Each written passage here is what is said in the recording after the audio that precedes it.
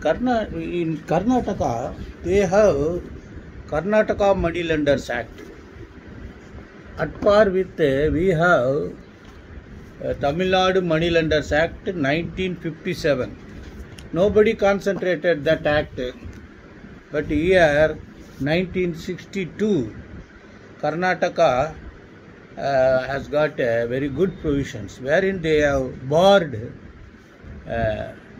suit for money uh, being filed by the money lenders without license. So this is AAR 2022 Karnataka 225 Shashi Rekha versus SH Basavarajaya.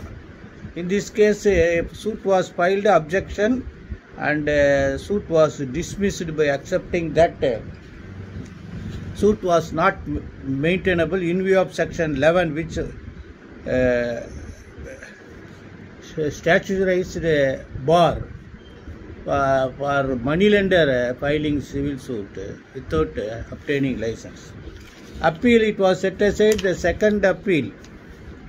Uh, the High High Court of Karnataka upheld the lower court judgment and uh, uh, in all the suit was dismissed.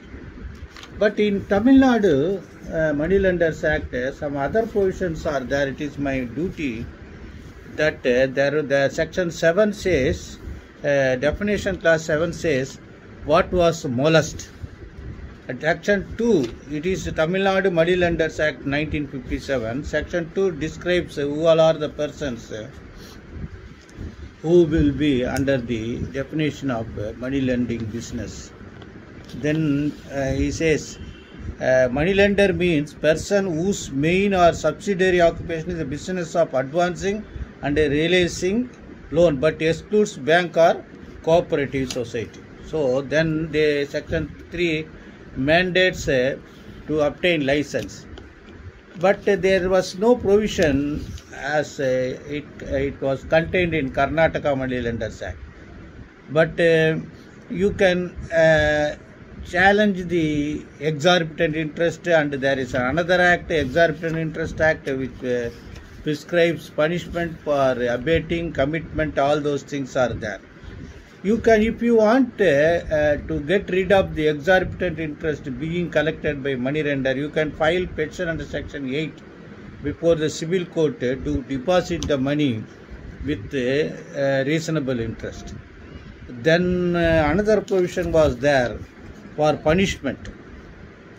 Lot of punishments are there. Inspectors are being appointed. I do not know whether it is they are appointed or not. Whether anybody is concentrating it or not.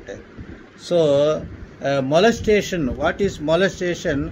Uh, that was defined uh, that abstract or use violence persistently follows the person to place to place, loiters near the house, uh, annoying it, intimidate the member of the per- and uh, doing anything dangerous to the person and uh, property. So he is punishable under section 13. So many other provisions are there. Kindly go through this, keep a visit, and this will also be an answer, uh, maybe a question uh, in uh, uh, All India Bar examination. I hope you understand. Then question arises today. we- I am going to discuss about specific relief act. First of all, you should understand that this specific relief act, uh, in addition to civil procedure code, in addition to civil procedure code, they say uh, uh, there were several amendments, uh, specific relief act 2018, uh, contracts not specifically enforceable. Uh, all these things are there, uh, power of court to engage experts.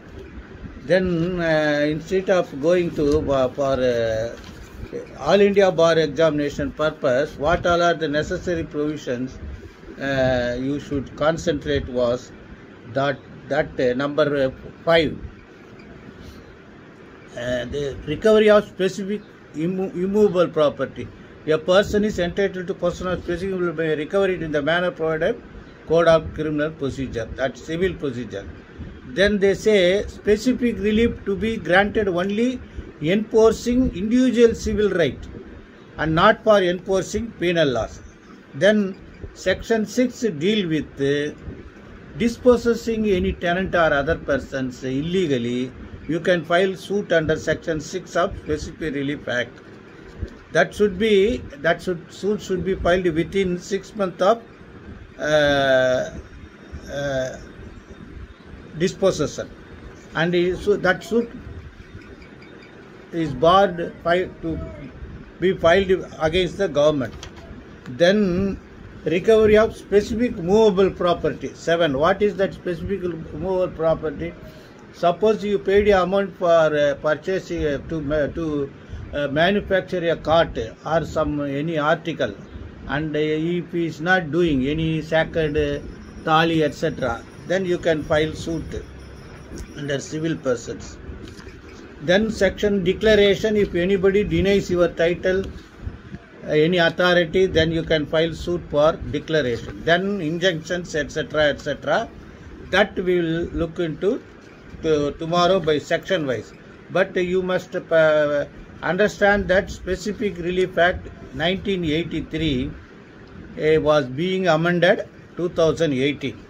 So there may be a question when this uh, act uh, come into force. You see, this is the Specific Relief Act Amendment Act 2018. Received the assent of the President on 1-8-2018. So if suppose a question was asked, uh, from which date the Specific Relief Amendment Act uh, came into force, then you can very well open the Bare Act and below down it is available.